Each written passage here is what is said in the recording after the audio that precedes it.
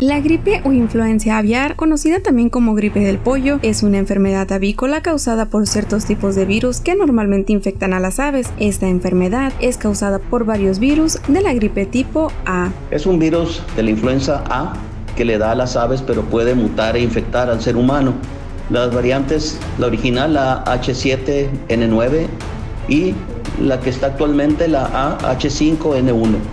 La manera es por el contacto con las aves o de persona a persona por vía aérea. Los síntomas de la infección por gripe aviar en los humanos son tos, diarrea, dificultad respiratoria, fiebre superior a 38 grados, dolor de cabeza, malestar general, dolores musculares, secreción nasal y dolor de garganta. Este virus tiene una mortalidad del 50%, puesto que el tratamiento debe de ser inmediato para prevenir que la enfermedad penetre las células y cause que el tratamiento no sea tan efectivo. epidemiológicamente respecto a esto, pues no hay que alarmarnos, pero tampoco bajar la guardia, ya que hay algunos casos en Ciudad Obregón, Nuevo León y otros estados.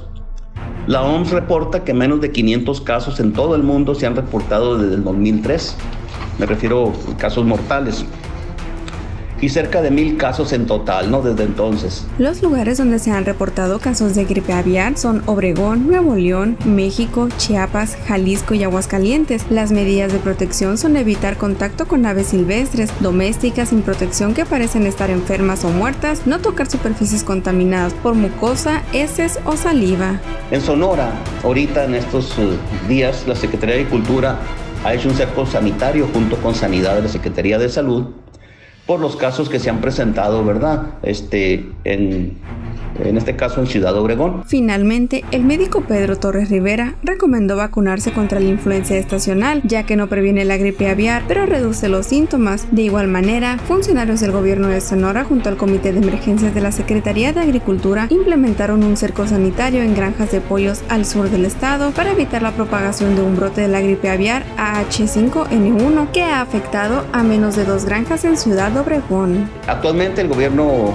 estatal, en coordinación con el gobierno federal se están tomando ya medidas, pues como lo comenté, con un cerco sanitario para poder mm, eliminar este, esta amenaza que tenemos, ¿verdad?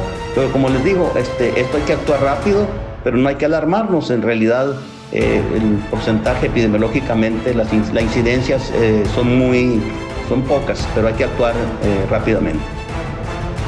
Midori Becerra, Mega Noticias